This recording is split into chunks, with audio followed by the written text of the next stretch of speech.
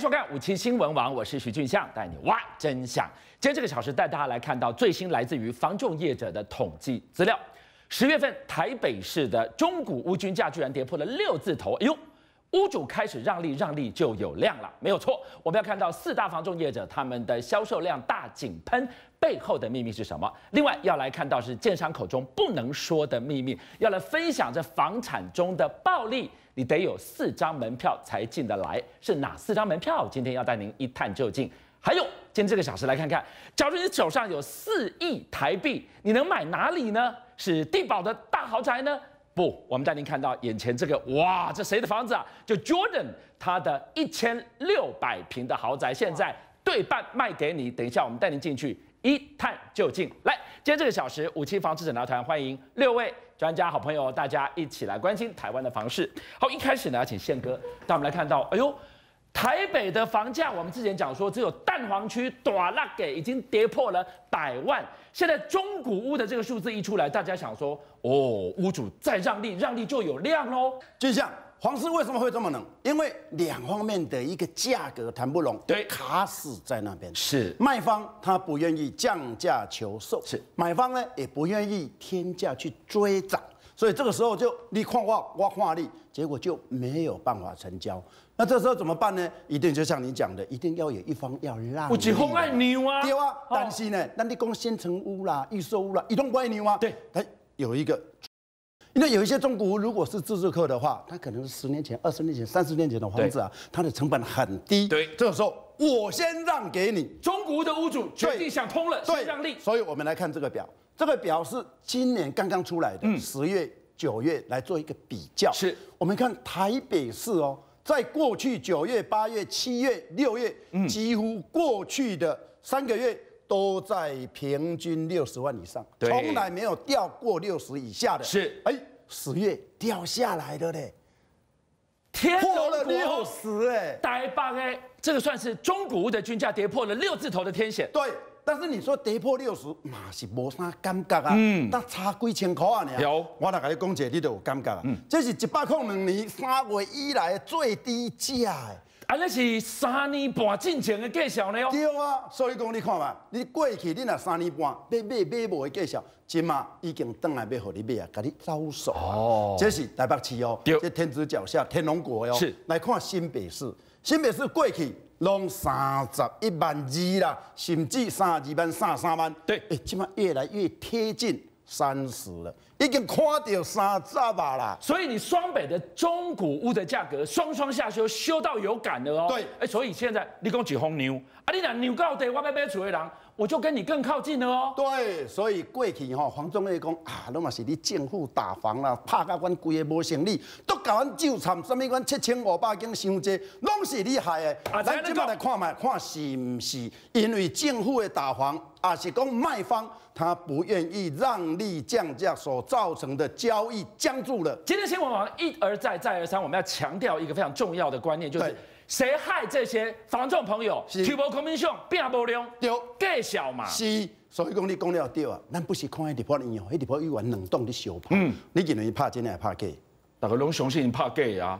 有人相信他打真的吗？对啊，那怕真的一定怕死人，对不？但是你看，人奔奔奔奔奔到最高点的时候，到后来什么妥协？嗯，哎，就像我们来看这一张图表，是有数据有证据，这是国内四大黄种哦，对，也。前个月十月呢，小腾腾的成交量、交易量，跟上个月比，你看到你真正哦，目睭有没落落来？信义房屋加一个加二两加二十趴哦，你看住商加十八趴哦。永庆给七趴，台湾房屋给三点二趴，哎，这是也整个哦，全台湾省哦，所以开始让利的时候量就出来了，这个是热腾腾十月份的呢。是啊，哦，这忽如一夜东风来，千树万树梨花开呢，你想拢想未到的呢？你看嘛，台北市，台北市加十七趴，嗯，新北市加二八趴，安尼也无严重，高雄加四十四趴，哇，整个都畅旺起来，动起来了呢。你看这住商，台北市加五十四趴，新北市加三十五趴啦。看了到底，这五十四趴，大家眼珠子掉出来。对啊。九月之前还在讲说安呢，鬼都缩起来，寒冬望不到春风来。对哇，现在多了五十四趴的量啊是啊，这是寒天呢，冬天的时候竟然看到梨花开，所以这个是在防重液里面的微妙的化学变化，不是外面你在那边韩信点兵数那个电数说哦失业潮哦，其实没有，没有。降量降下来，对。那价格下来量就有，量有 commission 就有，对。活水就有了，对，哦。所以前面一张已经印证了，这一张也印证了中介他们在喊的其实是哀兵政策。是。那既然中国已经下来了，当然就会影响到新城府。头家拢有在看新闻网嘛，你看了，哦，原来是安尼哦，啊，是的本来是安尼，足唔甘的啦，啊这阵干脆惨惨好落去啊。咱来看台南，台南才有一个案英空，这个案。竟然你想拢想袂到，这个时阵哦，十月中旬咱公开销售哦，两礼拜卖百五号啦。哎呦，哦，这是安怎卖？这个售级实在是非常的让我们觉得不可置信。不是十五号嘞，房市冷成这个样子，你这个不是在走多头的时候呢？两个礼拜卖一百五十户，这一定是美女牌，啊无就迄个小鲜肉，迄拢无效啊啦，咱拢讲过啊。迄无无效。房市这么空，迄拢煞袂行，是问题这想话免钱哟，对我袂碰就上了。免钱是无影，但是介绍吼，你俗到互你有感。啊是安怎上你唔敢，看？咱看嘛，一平十五万八至十八万五，这是什么概念呢呀无什么概念啊。哦但是港这个所在两年前的销售案子，港这个所在两年前，你来看嘛，二十一万七，二十一万七，二十一万四，二十一万三。等下，你这两年前的呢？对你个坑两年的新古屋啊吼，啊，你这新搭搭的厝，佫袂比较俗。对，啊啊，你也看嘛，看安尼免讲嘛，一百五十号，我看迄吼，总爱真正规个讲打包，这间不要，那边不要，其他通通给我包起来。看讲我买，我嘛要买新搭搭的厝，是啊所以这是讲出来，哇，整个对当地的整个贩售的模式，哎，这起革命作用哦。是啊，啊，所以公这从台南开第一枪以后，biang biang，你要看嘛，武昌起义都来全国风起云涌哦。哦开始第一个应用高雄，高雄这头家哦，伊嘛真巧，买贵退钱。好，你又过来啊！哎、买过退钱，咱过去咱听讲有人拼这道的，这高雄真正摕这来的，啊，有是好无？有咯，较早的超商吼，超商若讲买贵退钱的生意嘛，拢加外好迄是。超商，你这卖几千万的厝呢？对啊，啊，但是当然有效啊，因为至少你会来看嘛，哦看真诶啊假的嘛，咱嘛派人去看，看了，诶、买贵。买贵退钱，到底你有啥物条件无？无、可能拢无白条件嘛，全世界有遐好的代志对无？伊讲来十一月七开始，到明年的正月三十一，这三个月内，你若甲我买厝买了，比如讲你买低楼层的，买了你发现讲我买四楼一平买二十万，竟然进项买五楼，竟然是十九万，安尼都毋对啊！所以我们当然知道说，越高楼层卖越贵，对你哪可以好玩改你贵去，我退钱给你对。时间什么时候？后天开始呢？对啊，啊哦，正月三十一啦，所以你要变三个位时间，贵你啊。不要过年，对啊，是房地合一跨的这个时间。另外，因为拢前动后动嘛，你若后壁动的，感觉讲我买了一平三十万，头前动的港楼层竟然是买二九万退钱。哦，我就退给后面的被挡到的这个后面的。所以讲伊开价偌济，二十八万至三十二万。啊，这这这是贵啊俗啊，这是什么概念啊？但是咱个看一下，附近安尼个扫过去，讲这个高山嗯区，二十万，后十二万几的，后十九万贵的，哦所以这个价明显就贵啦对，所以他可能还要再加油加油。不过，既然从台南跟高雄的例子，也代表说我们一直呼吁呼吁呼吁，巩固嘛有效啦。哎，有动起来哦吼！买贵退差价只是一个建商的一个反射出来的动作，我们就从这个地方看进去好了。从北到南，十位说说看，哎，现在杀价取量，大家专家的话有听进去哦。好，我们别的不讲，就讲高雄这个买贵退差价，哎，邓天看没呢？这个可以进去看一下吗？我告诉你啊，中南部在喊销售率跟喊价格都不要听，因为呢，在我们做记者这么多年以来，中南部对于销售率，因为没有张金二副市长在做监督，所以卖一户叫做百分之百，卖两户叫做百分之两百。所以南部喊上去的那种新闻价值，各位那只仅做参考而已。不管说他有多少人来看，都不要去管这件事情。你说买贵退差价，它本身案子这么贵，农十六才一字头，你买到那个地方还要二字头，你觉得有赚到钱吗？隔壁如果来一个一瓶十五万的话，你的二十几万你要怎么卖呢？对啊，没有意义这个是二点八万就黑口维亚啊，它可以开到三十二万，没有意义嘛？因为南部的先生可能还认为说啊，反正如果喊到台北客来就好了，因为台北很贵啊，南部随便才二字头、一字头而已啊，要买这一大堆，而且。北部对南部不熟悉，对高雄也不熟悉，所以这种客人希望能够下来买。但是如果你今天是聪明的人，你根本就不要去看了。那我们又反过来看建商跟房仲，他们做的是一种两面手法。房仲对大家、对政府喊的叫做。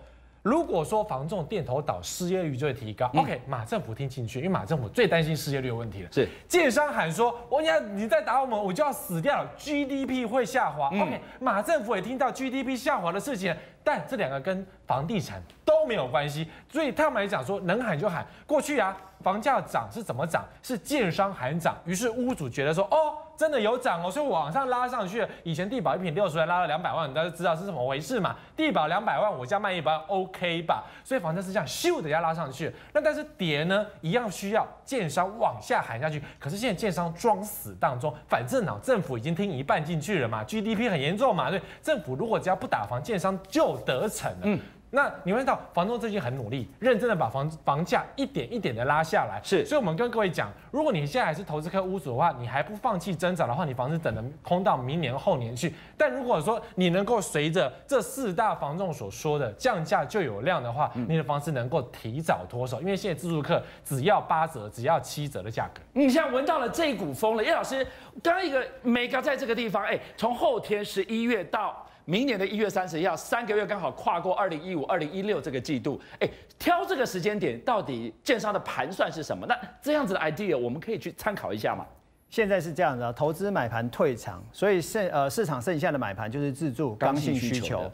所以在这个投资买盘退场的过程中，我们建商势必要对自住客投出这个对他们有利的一个市场。是。那因为他所谓的这个买贵退钱，事实上所谓的买贵不买贵啊，是建商自己在跟自己比嘛。所以这个是他可以操作。你看房仲多可怜，买贵可以退钱，谁敢这样喊？对，因为每一间屋主都不一样啊。没错。那这个买贵退钱，那他佣金都拿出来赔，过去十年赚的拿出来赔都不够。公公，你俩够小后，不要自己跟自己比，我跟这个区块别人比看看。就是他几块够小了卖了，我不敢这样喊。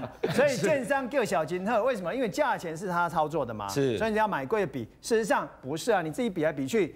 便宜个三千五千，问题是它应该下降五万三万的啊，它没有下降下来，所以这个对这个呃我们的消费者，尤其是自住跟首购的，其实应该要多看多了解。是，我们还提到的建商的手法相当多，这个部分显示他已经开始做出所谓的对呃买方的一个所谓的善意出来，但是还不够，要继续。好，我们今天看到一个财经啊，关心财经的朋友都会看到这个数字。说 GDP 不能被变保一，或者告的哇，第三季今天早上一公布出来，大概欧万明听了欧几半，居然变成负一。来，艳丽来跟我们讲讲看，所有的一切的一切，为什么在我们今天关心房市的新闻网来谈这个 topic？因为有人说，就是因为政府不当的打房，打到后来一款七三老票已经被埋纳死了，可以这样连接吗？好，我们还是先关心一下 GDP 最新的一个数字。坦白说，今年以来台湾的 GDP 是不停的一个下手，大家都还在讨论是不是能够保一的时候，晴天霹雳的数字出来了，是第三季的 GDP 的一个数字居然走负一点零一趴。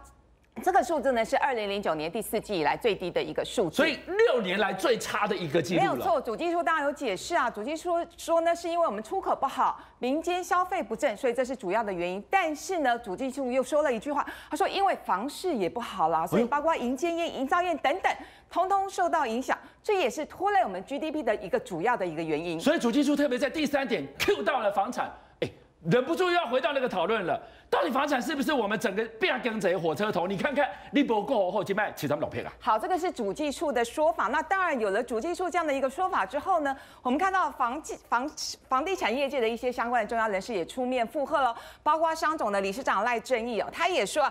对啦，完全没有错。所以现在只要股市好啊，房市好，GDP 就会继续稳定成长。对，政府想要救这个台湾的经济，只要有一招，就是救房市、救股市。那特别呢，赖正义是说呢，希希望政府不要再过度干预房市，希望呢这个呃成交量能够大幅成长，房市好，台湾经济就会回来。可大家更关心的是，这样的逻辑到底对吗？还是只是为房市好而说的一些谎言呢？跟当供给顾维就是说，今天是不是救了房市就救到了台湾的经济，救到了经济就 GDP 会好，大概给这种后鬼是这样吗？对，我们来看一下这个一些专家学者的一些说法，包括我非常尊敬、非常敬重的德明科大的副教授花进去花老师，他说，其实他算过，而且是多年来的一个统计的研究结果，包括建商、代销等等、中介等等，算进来，整个产业的产值占我们的 GDP 也不过。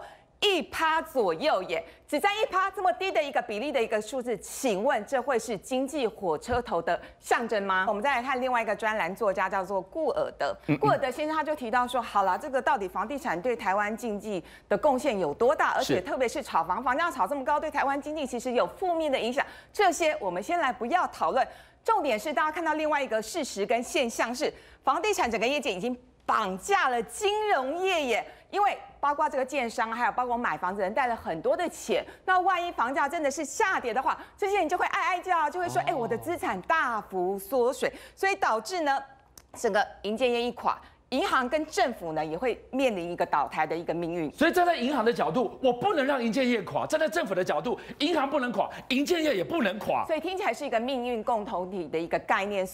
大家的想法就是说，好了，它真的是大到不能倒。不过在这我要补充一个事实哦，俊相你知道吗？其实呢，以德国来说，德国的经济其实这几年非常非常的好，它其实是世界上主要的一个经济大国。对。可观众朋友，你们知道吗？撇开这两年不讲哦。德国过去三十年平均房价每一年是涨不到一趴，你觉得德国经济好不好？德国经济超好的，它有靠房地产来支撑它经济没有嘛？对，人家就是有一些比较独特的产业在做一些布局跟支撑。所以，哎，啊，听搞这个时候才长期我们恍然明白，在台湾几十年来，我们变什么？建商恐吓人民，然后房地产绑架银行，就在这个不断的狗咬尾巴、一直转、一直转的恶性循环之下呀。对，没有错。所以我们再来看一位业界人士的一个真心告白哦。那他是盖豪宅的一位建商，他叫做 W 先生。他说：“拜托，房地产产业才不是什么经济的火车头，它其实是所谓的。”皇家产业意思是什么？就是外表看起来光鲜亮丽，其实呢内幕重重。你的意思是说，今天你要有贵族的血统，你要有别人拿不到的门票，你才进得了皇家？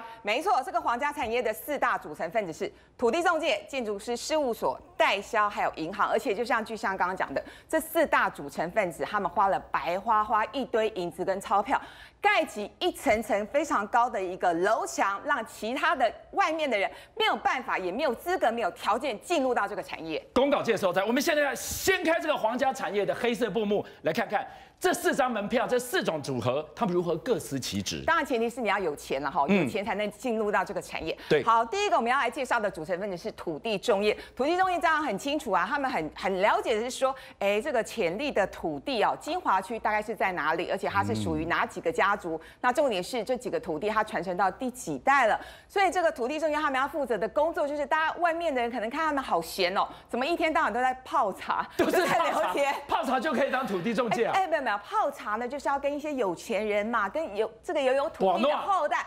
玩诺培养感情。那如果真的是有一些买主想要去买的话，他就要做一些中介啊。所以大家不要觉得说他们好像看起来闲闲某待机，但其实呢，他们平常都在做一些布局的一个工作。好，我们再来看的是第二个组成分子。第二个组成分子就是建筑师事务所啦。好，那当然你买了土地，你要盖房子，一定是要找这个建筑师事务所来帮你服务嘛。那另外一个重点在于哪里呢？好，我们今天找建筑师事务所哦。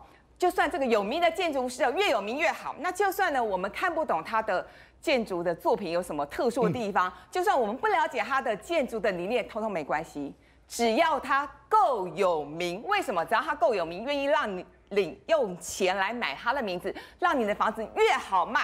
这才是重点。在请假写文样，哎，那两天跨组哦，某某大师有没有巨破跨刀啊？诺啊诺。那特别是这个建筑师事务所里头养了很多这个员工，很多都很年轻，都是建筑相关科系毕业的，真的是怀抱的理想，而且没日没夜、昏天暗地都在画图。哎，嗯，好，那就算了，这个业主，都刚刚提到买了土地之后嘛，就算这个业主的美术程度只停留在小学阶段也没有关系，因为你够有钱啊，你是业主啊，你就可以指使这些建筑科系毕业的人。不停的帮你改图，而且是改了一些是你这个呃很奇怪的一些想法。哪有这样子的？哎，我今天说找到这么大咖，你说够有名、够大咖的建筑师，我当然让他画、让他设计，还轮得到你这个只有小学程度？不不不不，大师会告诉你，我真的很忙，而且而且我只负责最后一端的审查，所以事实上，观众朋友，可能你买的是。某某大师，哎，对，某某大师的这个作品，但事实上都是这些小朋友他们没日没夜画出来的图。那大师只在最后一段一段签名啊，钱就这样掏下去了。我买了房子，我以为是大师帮我盖的，没有，他是最后签名盖章。对，那房子盖出来了，总之呢，找人要来卖嘛，这个人就是代销了哦。代销真的很厉害哦，他们要知道市场的水温目前的状况是怎么样，而且市场目前最适合的产品，什么样产品好卖，然后最好最好卖的这个价位带大概大大概是。在哪里？好，这个代销都会帮大家做一些厘清，所以他帮你去定位这个商品的价位，连价格都是他们的建议。对，而且我觉得有有一个重点，就是说这个 W 先生观察到，呃，代销除了是超级业务员之外，他们其实就是一位诗人。什么意思啊？哎，我卖房子，我为什么要跟文学诗人有关呢？因为代销他总是能够把看不到的东西说得很美好，然后呢，会让消费者买单，会把。那会让消费者觉得说啊，我错过了这间房子呢，我终身会遗憾哦。哦，就是讲哦，咱苏德亚你讲我一支嘴好锐锐，处都是处，他把它赋予一个故事，一个想象，对未来美好的想象。而且代销更厉害的一件事情是什么？他会告诉你说，哎，君相，你买这个房子哈，最重要的是你的客厅、你的主卧都要弄很大，因为呢，客人一旦一旦来你们家玩耍来拜访，看到你客厅那么气派，就会不停的称赞你，那你就会很有面子啊。哎，想起来也对呢，哈，所以我。住进去了以后，那个感觉，他通通把你想象出来了。对，没有错。那再来，我我们来看第四个组成分子，叫做银行。哎，这个非常好理解，为什么？因为我们今天这个业主就是我们有土地之后呢，我们要跟银行维持良好的一个关系。一方面呢，土地融资，它利率可以维持比较低的一个状况。对。那等到我事业越做越大，我房子越盖越多，我接下来是不是会跟银行贷更多款呢？所以其实跟银行维持良好关系，我想这件事情是非常容易理解的。所以要盖房子的人跟银行要是好朋友，那你怎么又讲要被绑？架了呢？所以当然是被绑架，是一个命运共同体。为什么？当我们房子盖越多的时候，就像你来跟我买房子，你是变成我的消费者，对不对？对。那你可以买好多间啊，别人也会来买啊。所以当我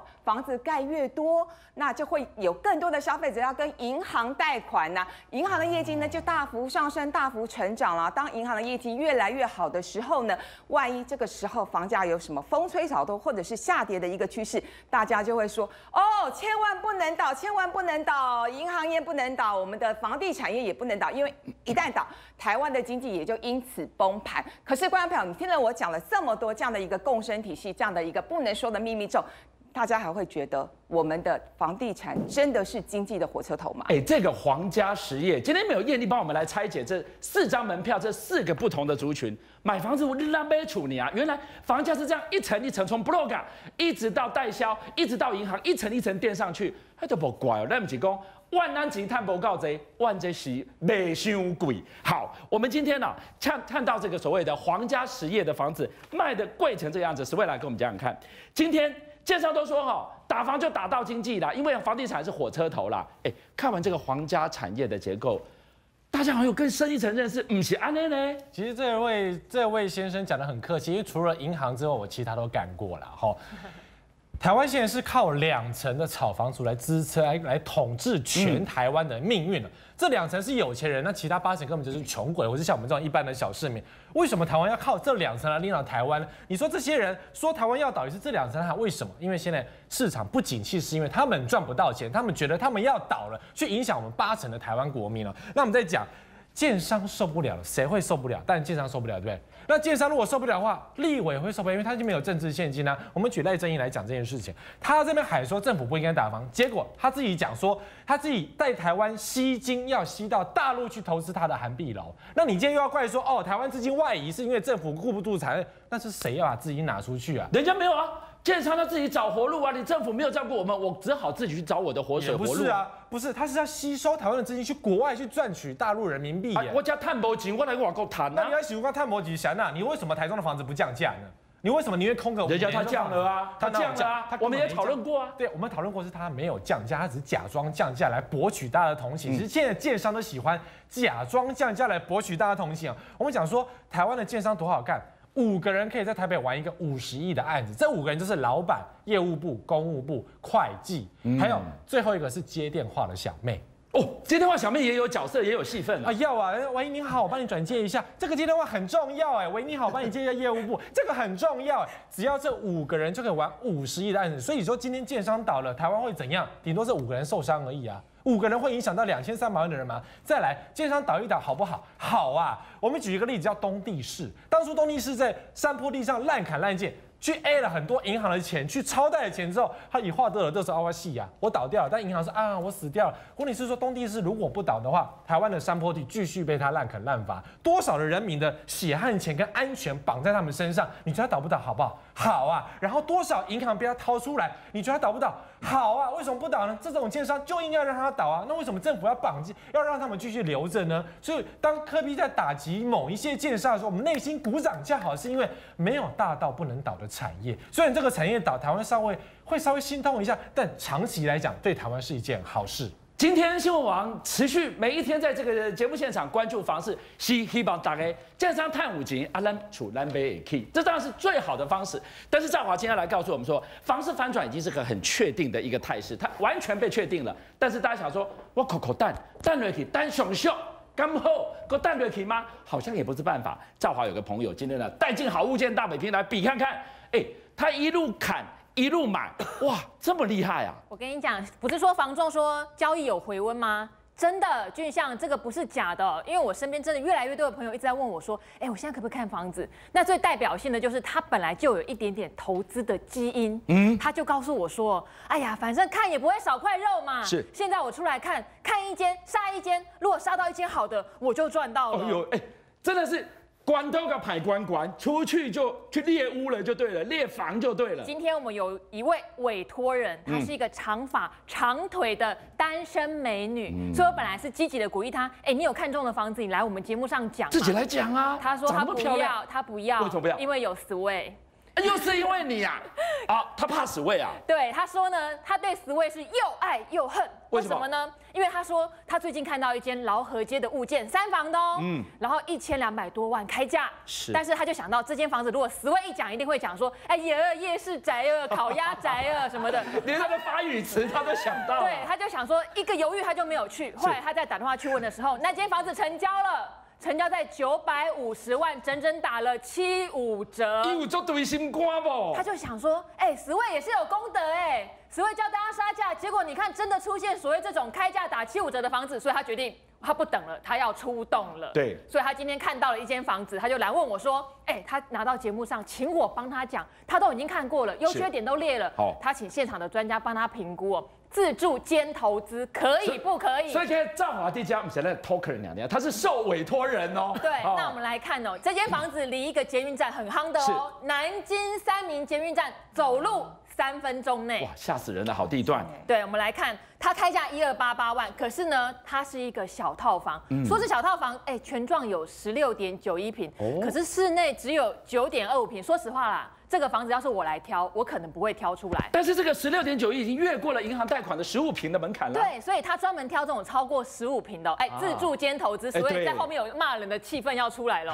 啊，每平大价开七十六万，其实是符合这个南京三明捷运站附近大楼的行情嘛啊。那是二十六年的大楼，十二楼的七楼，我们来看一下，其实它是正南京东路五段的门牌。哦哎，大家想是不是有点吵啊？我们来看一下位置在这里，这是南京东路哦。对，你看西松国小、南京三明站就在这里，哎，走过来是真的三分钟以内呢。啊，看起来里面的装潢，哎，有点老旧。是对，所以呢，他就觉得这一间他想要入手有优缺点，他都帮我们通通列出来哦。而且多用心，他还把那个格局图改造给我们看，告诉我们为什么他想买。来，所以哦，今天哦，赵华讲进去的时候，哎，我们等一下请十位你好好听哦，你的意见他非常的在意，关都一个没来给普的，看能不能买得下这个房子。我们先来讲他怎么改造这个格局。刚刚是不是讲这是一个小套房？对他原来的格局长成这个样子哦嗯。哎、有一个客厅，对有一个餐厅，只有一间卧室，两厅一卧对两厅一卧，对那就觉得说，哎、没有什么，好像觉得有点贵，对不对？是？但是你看他亲手画这个三 D 图给我们哦，哎，同样的格局，大家看，他说这边是客厅，对，他把这个餐厅的位置改成一间房间，哦呦，就多一间出来了对，然后卧室，你看他画的多漂亮，给我们看，等于是两房一厅改造给我们看呢。哎，林姐的漂亮的小资女这样行啊来呢，你看看，轻轻松松就把它隔多隔一间出来，又多租一间出去，了。所以他就列给我们看哦。他说：“哎、优点有这些，刚刚讲了嘛，离捷运南京三明站三分钟，哎、嗯这么近。”啊，刚才俊相也讲了，全幢有十六点九一平，是一般的住宅可以贷款哦。是哎、你信用好，八成还是有点机会呢。对，二十四小时管理，他有去看过，外观也算干净，还有专门的人帮你收垃圾。现在很多 OL 啊，或者上班族，他们其实很在意这些小事非。常我下班都累死了你。还要我穿着高跟鞋，顶着浓妆，提着两袋垃圾追垃圾车，以为会有良缘出现吗？不可能哦。然后再来，他说我们刚刚讲 正南京东路可能很吵，对嘿，这一间他看了，在后栋哦，不但安静，也有采光，也没有隐私的问题哦。当然啦，南京东路金门牌不用说了，这间呢，它的问题在住办，住办是优点也是缺点啊，你可以租给人家当办公室哦。哎，可是你同一班的啊，我是单纯住家，你就觉得讨厌了。对，那缺点他就讲了嘛，因为住办可能有点复杂哦。哦还有，但他说、哦、他有去问了，屋主持有大概两年，嗯嘿，他觉得可能是跟他一样，明明就是个投资客、啊，不是啦，自住兼投资哦。是他怕对方价钱可能有点硬，嗯，啊，厕所没有对外窗，还有就是他要改成两房，他可能要花四十几万，哎，这是一笔支出哦。但是小资女内心 有一个底价，她要来问问叶总，问问十位，有没有机会杀到？因为劳合街那个案子给她很大的打击跟启发哦。她理想价格是九百五十万，能不能买到七四折？为什么九百五十万？因为她的理想投报率是这样哦，月租二点五万。那乘以十二就是三十万，是三十万去除以九百五十万，哎，年报酬是三点一五趴，他觉得这才是符合自住兼投资的概念。换句话说呢，他从三点五趴的这个投报率往回推推出来，可能要七四折去砍这个价钱，砍得下来可以买吗？哎，他在电视前面听你讲，他很在意哦。来，你怎么看？我实在很不想教人家怎么投资。我先讲一下为什么要投资呢？留给那个自助客买不是很好吗？不要赶尽杀绝这些投资客。不过话说回来，为什么这个屋主，我们讲说你是大家讲说之前那个例子，屋投资客要七五折卖给下一个投资客，为什么他要便宜卖？那是因为他看不好后市嘛，他发现没有后市才要开才要卖房子啊。这个案子也是一样，你看那个装潢几乎是原始装潢，也就是说前一个投资客他买进去之后，他可能发现不好住，租不掉，于是持有两年，等奢侈税结束之后再抛售。是所以他的问题是在于，如果你今天没有花大钱改装的话，它不好住。为什么不好住？虽然你说不吵，但非常的冷，这是朝北房。非常的冷啊，那你没有在改窗户，你改一个窗户至少花二十万，改两片就变四十万了。你光是改窗户就要四十万的费用，你不用讲说室内格局，那你就好住吗？所以你投资的资金可能要更多。第二件事情，这个房子格局他想弄成两间这样，等于是两雅房，并不是两套房。所以如果你真的想要做投资这件事情的话，麻烦你去学一下室内设计，这是基本的概念。你这个两雅房大概在市场上很难租掉，你除非租一个小家庭，可能还有机会，但是两雅房你很难租啊。你如果弄成一雅一套。这个要花可能到一百万以上的资金才可以做成一雅，除非你要找招赎金的师傅来做，否则四十万是做不出两套房的格局。那一雅一套，那等于是一个套房就像一个小雅房而已啊，它一样是不好住的房子。所以你说格局如果隔得不好的话，它这个月租三十万，恐怕也也也也赚不到这笔钱赚不到，因为你知道我刚才讲多少钱，你这样算起来，你可能要花两百万的装潢哇才能够好住，因为呢。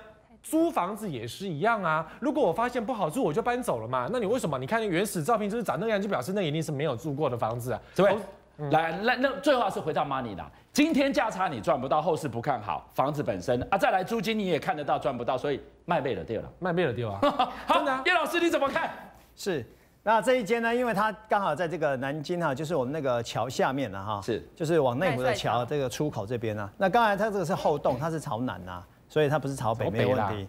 可是呢，因为它啊这个位置啊，刚好其实是爹不疼娘不爱的地方啦，怎么说？就住内湖的人不会来买这里啊，那住台北市人不会买到这桥边啊。可是老师他他离捷运很近呢，也不近哦，它已经在东兴路的呃右边，靠近河的你是跟我边。没有，上婚他说走路他有走大概三分钟，当然快走了，三分钟，是，所以显然他很喜欢。欢这个案子。对啊，就这个标的物本身 在这个位置，在我们过去的整个销售的过程里面，这个是爹不疼娘不爱的地方。嗯，那刚才这个两年持有两年嘛，他满两年要卖，事实上这个是就刚才十位讲，屋况里面是没有改变的。确实应该是买来投资，嗯，然后两年到了把它卖掉那你看他手枪屋的格局啊，嗯，手枪屋手枪屋，来我们看一下这个是握把，这个是枪管。对哦，然后我们这么多人看了这么久都不知道这是手枪屋，手枪屋会怎么样？